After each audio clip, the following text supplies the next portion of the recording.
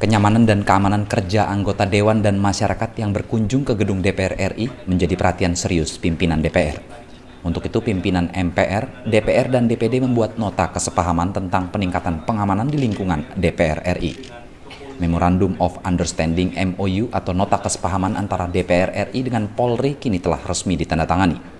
Kapolri Jenderal Polisi Tito Karnavian, Ketua DPR RI Bambang Susatyo, bersama Ketua MPR Zulkifli Hasan, Ketua DPD Usman Sabta Odang melakukan penandatanganan MOU tersebut. Penandatanganan nota kesepahaman antara DPR RI dengan Polri tersebut terkait dengan peningkatan keamanan lingkungan MPR, DPR, dan DPD RI yang digelar di gedung DPR RI Kompleks Parlemen Senayan, Jakarta.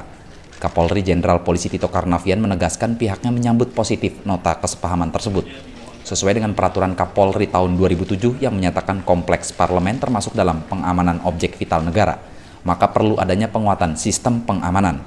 MOU akan menjadi langkah preventif untuk meminimalisir berbagai kejadian yang tidak diinginkan akibat lemahnya pengamanan. Apa benar anggaran untuk keamanan ini sebesar 80 miliar? belum saya belum dapat kabar. Kalau jumlah personelnya sendiri yang ditambahkan ke DPR itu berapa banyak? Bagaimana? Jumlah personel yang ditambahkan juga untuk pengamanan di Ini yang belum dibicarakan juga. Ini yang penting sekarang kita MOU dulu. I- namanya kan nota kesepahaman. Paham dulu teknisnya seperti apa. Nanti akan dibuat tim. Tim dari Polri, nanti dari Mabes Polri dan Polda Metro Jaya akan buat tim sendiri. Dari DPR akan dari kesekjenan akan buat membuat juga sendiri. Baru kita hitung kekuatannya berapa, sistem pengamamannya seperti apa, berapa pintu masuk ya.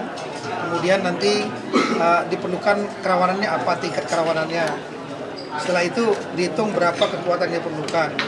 Setelah itu organisasinya, siapa pimpinannya, pangkatnya apa, nanti kita bicarakan.